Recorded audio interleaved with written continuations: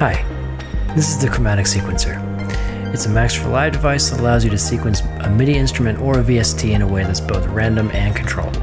You tell it the rhythmic subdivision and quantize the pitches, and the device decides when it will play each note based on the probability that you assign to it. To show you what I mean, let's build a generative piece of music in Ableton using the Chromatic Sequencer almost exclusively.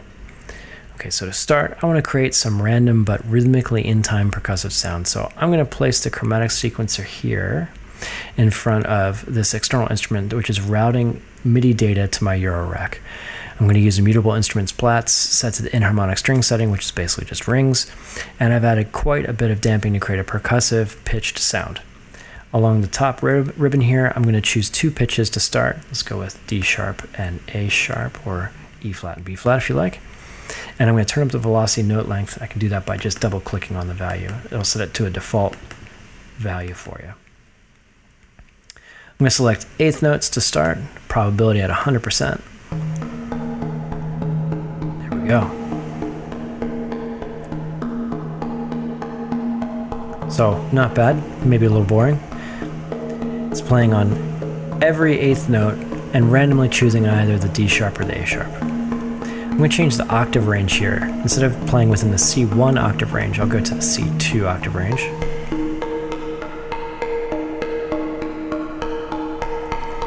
Let's add a little bit more life as well. I'm going to change the plus or minus setting to 1. So this will now do between the C1 and C3 octave range.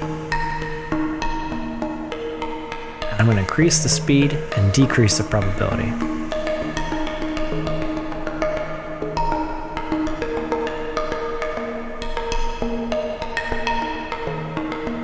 So now it's randomly choosing either a D sharp or an A sharp within the range of C1 to C3 on notes that fall within the 16th note subdivision about 60 66% of the time. And not bad. It's actually like sounds kind of musical, sounds uh, lifelike, but random at the same time. But let's add one last detail, detail to add some more life to this little funky Eurorack drummer here. On the far right is a built-in LFO. Uh, the LFO frequency controls the rate of the modulation, how fast or how slow, and the LFO amount controls the amplitude, and you can use that for either velocity or note length. Think of the LFO amount like an attenuverter on a Eurorack module. The more you turn it up, the more it'll modulate the control. So I'm going to increase the rate of the LFO to be fairly quick, and I'll set the LFO to the velocity to about 75%.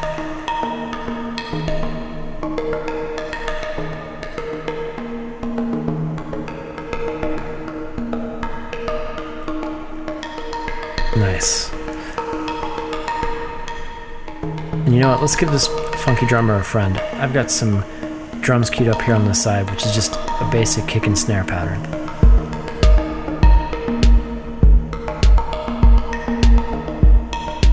And there you go, some random, rhythmically in time, lifelike percussion. So now let's add a pad or a texture. This next track, I've got the chromatic sequencer placed in front of the Max for Live Poli instrument. I've tweaked the model uh, 555 preset a bit to my liking. I've already got this one set up.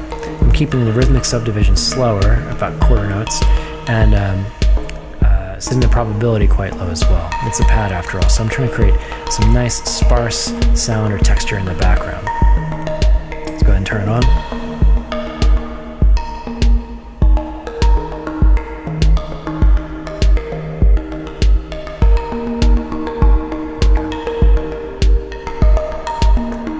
See it's only playing about 40% of the quarter notes. Play around with the octave range, see how that sounds. So let's go from sort of the C4 octave range to C5. Not bad. So this setting could be helpful depending on the other instruments that are in the mix. You may need to shift the octave range up or down a bit to get things to sit well within the mix. For this though, I actually prefer the C4 octave range, so I'm going to move it back there. And I've chosen the notes here to fill out um, kind of a, a wide-ranging chord. Alright, so now let's add some bass. Let's add some low end to this track. Place the chromatic sequencer in front of the bass Max for Live device here.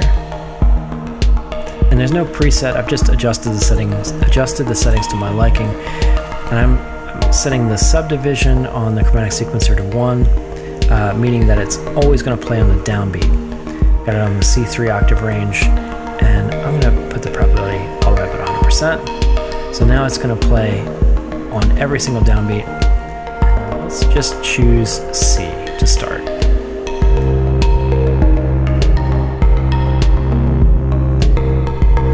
I've also got the kick from the drums, so I changed this track to create a bit of pumping sound.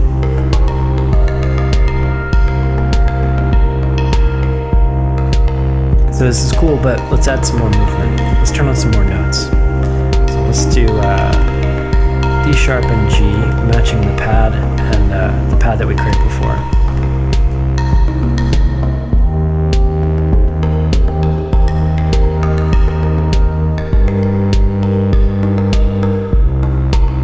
Alright, now we got some somewhat random but musical movement.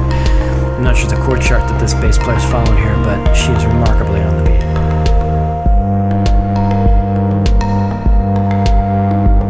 Let's add one more piece. I'm going to put the chromatic sequencer in front of another external instrument here.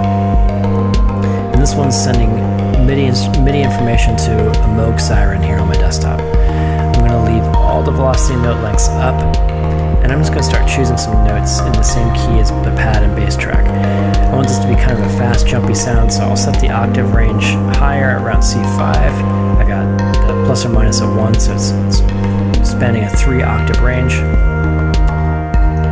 So the 16th notes, and let's start with C and G.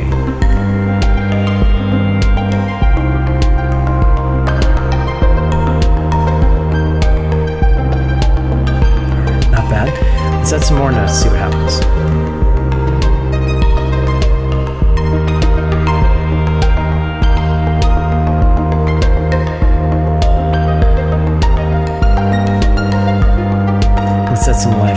Modulate the probability knob a bit to change the how quickly the rhythmic idea is being played.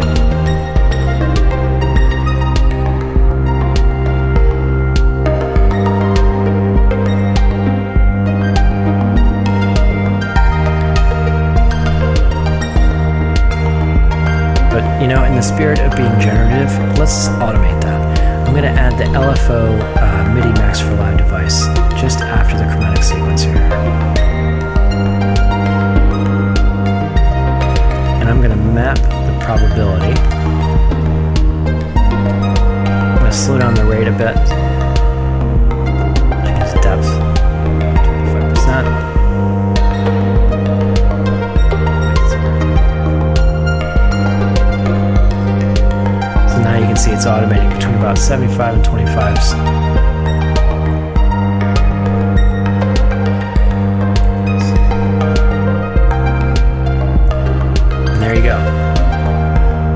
Chromatic sequencer Max for Live device, I'm able to drive four different instruments to create a generative track within Ableton.